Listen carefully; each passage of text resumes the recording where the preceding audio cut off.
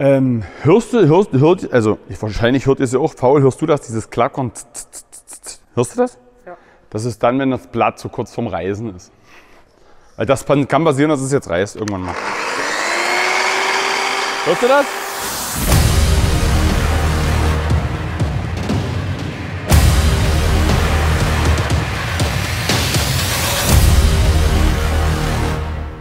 Also, wir haben mit euch heute folgendes vor. Passt auf. Erstmal einen wunderschönen guten Tag und schön, dass ihr gerade eingeschaltet habt.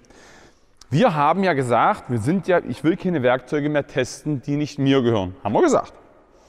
Ja, trotzdem will ich aber euch die Werkzeuge, die wir benutzen, mal darlegen. Und wir haben heute mal drei Sachen, die wir eigentlich na, fast, tä- naja, die nicht mehr so oft, das liegt aber an unserem Aufgabenfeld, aber den fast gar nicht, aber die in unser Aufgabenfeld mit reinführen und die für Probleme bzw. Lösungen suchen können. Sowas. Ja? Den habe ich die letzten zwei Jahre nicht mehr benutzt. Wisst ihr was denn? Ey, wir werden das gleich rausfinden. Die hat der Fahrer nämlich immer beim Wickel. Ich zu Hause baue Sichtschutz. So, die Dinger werden einbetoniert, ja? Und zwar, das sind die Halterungen dafür. Unsere Hobelmaschine, die alte, die macht ja nur 20 cm in der Höhe. Schätzen, Paul, schätz mal, was im Balken liegt. Du sagst 110. Also ich sag 110. Du sagst 80? Ich sage 82 Kilo. Lag's ja auch nicht so schlecht, Paul. Also so viel wie du wiegst. Aber da an sind, Also, wir reißen uns jetzt 2 Meter an. Jetzt habe ich überlegt, man könnte hier sowas machen, weißt du, so, so, so. Also, weißt du, so, auf alle Seiten. Das würde doch gut aussehen, oder bis auf zwei Seiten. Zwei Seiten. Nur auf zwei Seiten, nicht auf vier, war. Das Ding ist, ein, wir zeichnen aber alle an. Das Problem ist, wenn du so einen Balken hast, 85, Zent- 85 Kilo schwer, den hast du erstmal keine Lust auf eine Säge zu hucken. Den hast du aber auch keinen Bock, ähm, durch einen Hobel zu jagen. Und deswegen haben wir gewisse Handmaschinen, die uns da die Arbeit einfach erleichtern. Wir haben einmal die Maffel Z5. Ist das Z5 schon? Ja, wa? Kannst du mal kurz an dein Telefon irren, was das. Kannst du mal gucken, was das Ding gerade kostet? Das ist klar. Bei Kirchner oder Kirchner Ja, das ist ein, das ist ein normaler Händler. kostet die 5.577 Euro und 63 Cent. Ich habe dafür 3,7 bezahlt damals. Und wenn du den Wagen dazu haben willst, bezahlst du schon 6. Also die Säge mit Wagen 6000 Euro, Paul. So, geht weiter. Doppelho.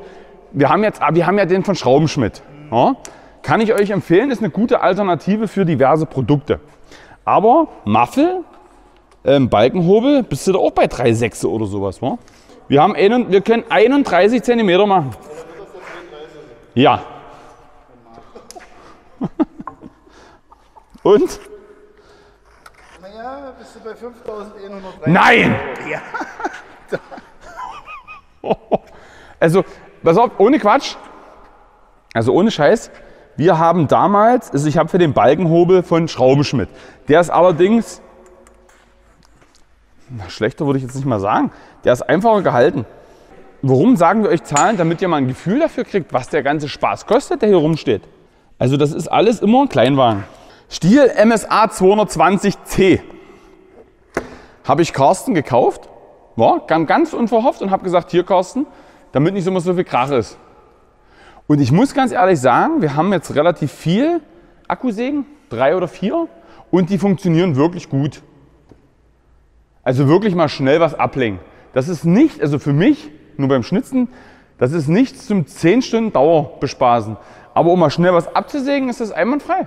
Doch, gerade wenn wir besäumen und beschneiden auf Länge, passt das. Reicht das meistens. Dafür reicht es zu, es macht keinen Krach und es funktioniert genauso. Wir haben einen 300er Akku. Der ist zwar relativ groß, ein bisschen schwerer, aber hat halt eine schöne Standzeit.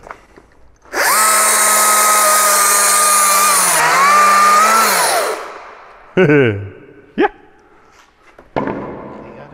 was denn? Für zwei, ey, das ist nee, ja. das ist 20er Balken und der ist nass. Ja. Das wusste ich. Ja, wir müssen ja auch um 15 Minuten kommen. Auf was, 15 Minuten? Videomaterial? Mir ist das so scheißegal. Es lag vielleicht doch daran, dass er relativ nass war, wa?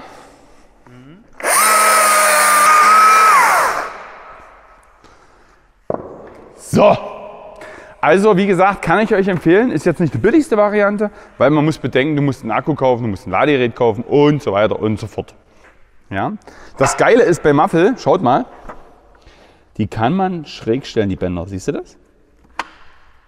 Komm her. Siehst du das? Hier ist ein Schen- Schenkel dran.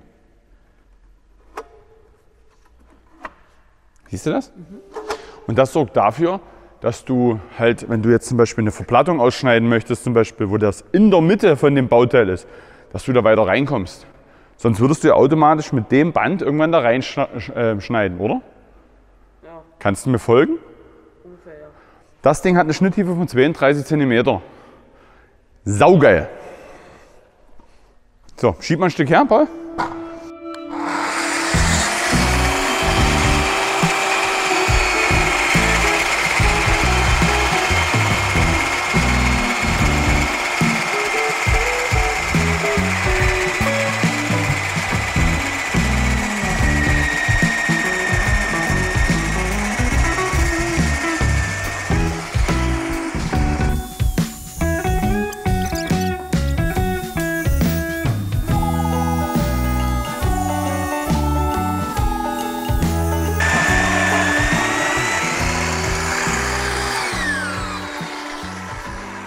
Ähm, hörst du, hörst, hört, also ich, wahrscheinlich hört ihr es ja auch, faul, hörst du das, dieses Klackern? tz, tz, tz. Hörst du das? Ja. Das ist dann, wenn das Blatt so kurz vorm Reißen ist. Weil das kann kann passieren, dass es jetzt reißt irgendwann mal. Hörst du das?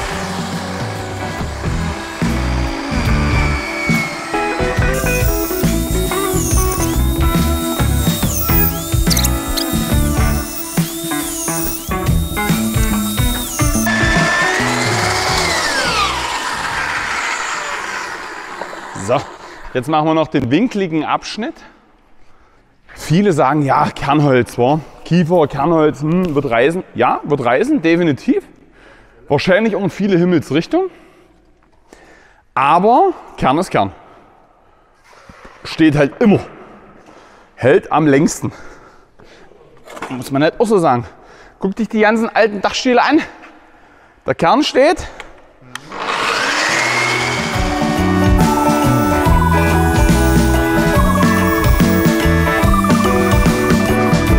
Gerade überlegt haben beim Schneiden. Ui, Hörst du es? Das Blatt ist fertig. Wir machen jetzt mal folgendes, Kosten. Wir machen jetzt mal ganz kurz ein Resümee. Welche, was die Maschinen alle kosten, die wir gerade benutzen. Nimm dir mal Stift und Zettel. Wir haben gesagt 6000 Euro die Maschine. Ja? Dann haben wir, gib mal ein, SSK Balkenhobel. Wir rechnen mal mit 1,5. Sind wir bei 7,5. Ja? Bei dem Schrauben, also bei dem Hobel, der hat einen relativ hohen Anlaufstrom. Ja, also da kann schon mal passieren, dass eine, Rech- eine, Re- ähm, eine, eine Sicherung fliegt. Eingestellt wird dieses wunderschöne Schmuckstück hier an der Seite. Ja, da kannst du eingeben, wie viel Millimeter Hub du da machen willst. Und ansonsten, Jetzt hast du einen halben Zentimeter. also ich brauche keinen halben Zentimeter. Ist das ein halber Zentimeter oder ist das Millimeter? Ach, Millimeter. Nee. Wo ist das? 0,5 Millimeter.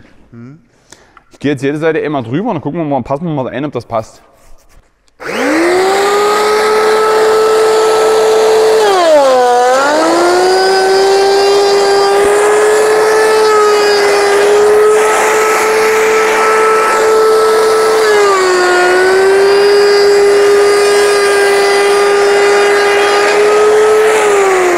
Ist mir zu wenig. Ist mir zu wenig Hub.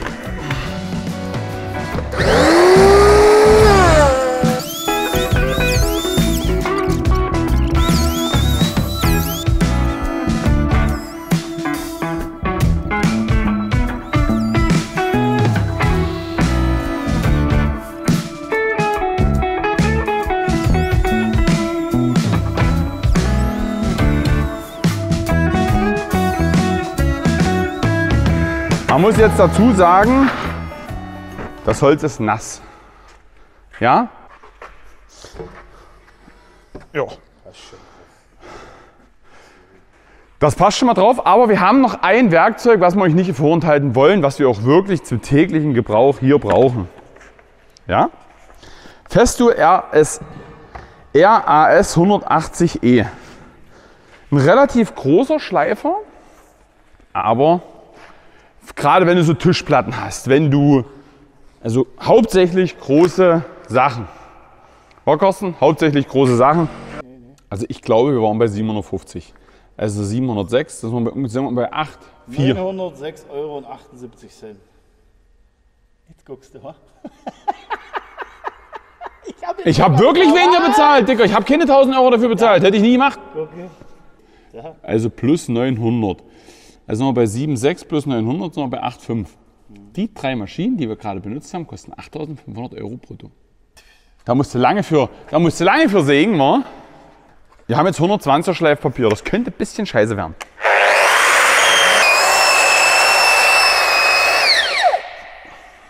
So, das ist. Also, wie gesagt, ge- aber geiles Gerät. Hier könnt ihr auch die Geschwindigkeiten einstellen. Polieren, weiß ich nicht, ob das mit der Maschine geht. Mit Sicherheit, ganz langsame Geschwindigkeit. Geht mit Sicherheit auch. Aber Polier, das mache ich schön mit der Hand hier schön per. Schön abbeizen drüber. Jetzt könnte man noch sagen, okay, Kanten werden gebrochen. Das könnten wir morgen noch machen mit einer Oberfräse. Ganz normale äh, Phase dran, fertig. Eine, eine gute Oberfräse, mittlerweile auch 250, 300 Euro. Also ihr habt jetzt mal einen kleinen Einblick bekommen, was wir alles brauchen. Also wir haben jetzt sag ich mal einen kleinen Werks, also einen kleinen Gebrauchstest gezeigt für unsere Maschinen. So lange hast du nicht auf Instagram reingeguckt? Ich verlinke dich und mache dich und Stories. Du hast ein Video gepostet, sag mal, das? Wir hauen jetzt in den Sack alle Bäde, wa? Ja. Äh, willst du noch was sagen? Jetzt mit dem Fahrrad hinfahren. Carsten fährt jetzt immer Fahrrad. Kein Führerschein mehr. So verloren. So verloren. 7,8 Promille. Ah, Normalzustand. Normalzustand. Carsten ist so ein Begeltrinker. Merkt man mir gar nicht an. Nee, war. Das ist nur hier. Bis später. Tschüss. Tschö.